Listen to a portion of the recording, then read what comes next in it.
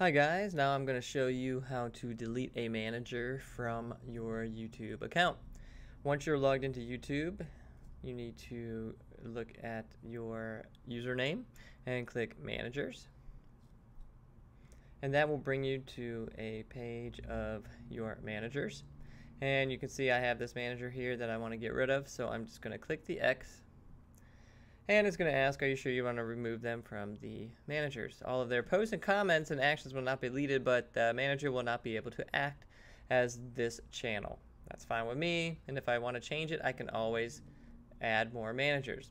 Well, you can see uh, it disappeared right here, and if I check my email,